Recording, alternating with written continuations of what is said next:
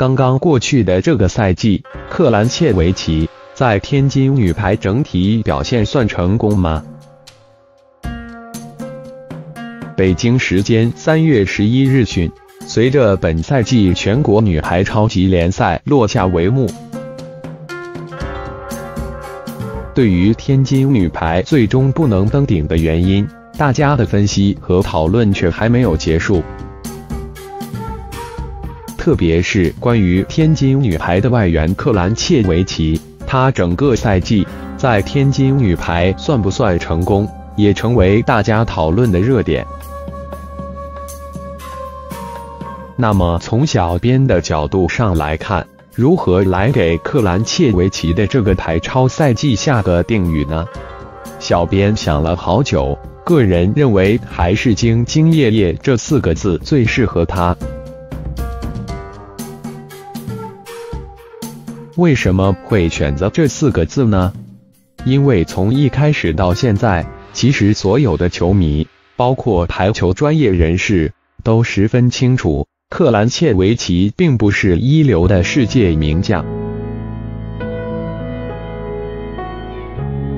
他的实力也是稍有欠缺。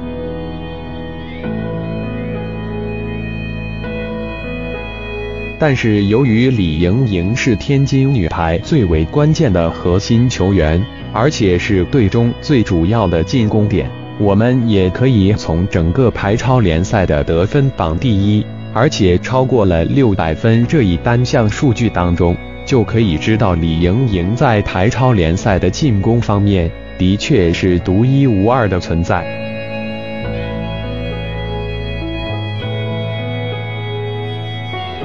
他把张常宁和龚翔宇落下了二百分左右的分数。即使张常宁和龚翔宇少打了一两场球，但是哪怕再把这样的单场得分数再加上一场，得李盈莹也还有着一定的差距。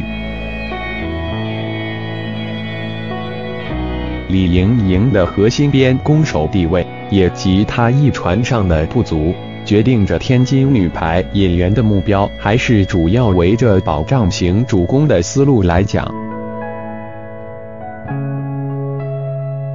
而克兰切维奇显然是这一方面已经做得不错的一位主攻手，转会价格不高，实力也不错，而且比较符合天津女排的整体风格和整体需要。另外一点，就是在几场决赛当中，我们明显看出，在克兰发挥不佳、不能上场的时候，他并没有因为自己是一名外援而对球队的胜负显得不怎么在乎，而是一直以一种关注的表情来看着场上的变化，为队友们加油鼓劲。同时也为他们着急难过，这样的职业精神，至少让人从心里尊敬这样一位来自异国他乡的运动员。我们的朱婷也在土耳其女排联赛打球，她正是因为融入了瓦吉夫银行俱乐部队，才在她本身球技一流的情况下。得到了更多球迷的支持和爱戴，也和队友们相处的十分融洽。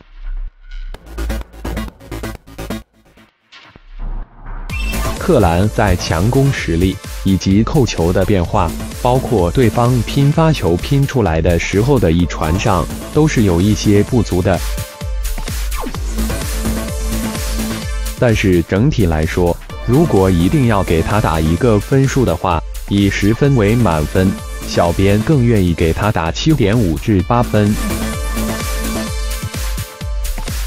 也就是一个优良的分数。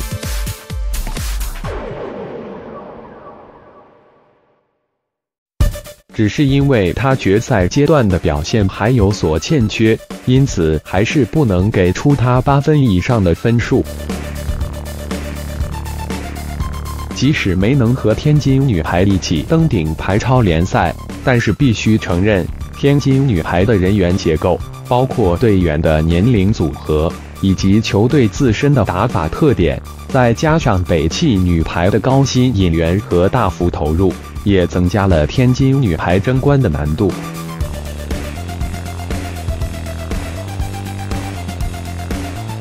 克兰切维奇下个赛季还会不会继续留在天津女排，我们不得而知。但是这个姑娘低调、努力，又比较刻苦，与球队队友也相处得很好。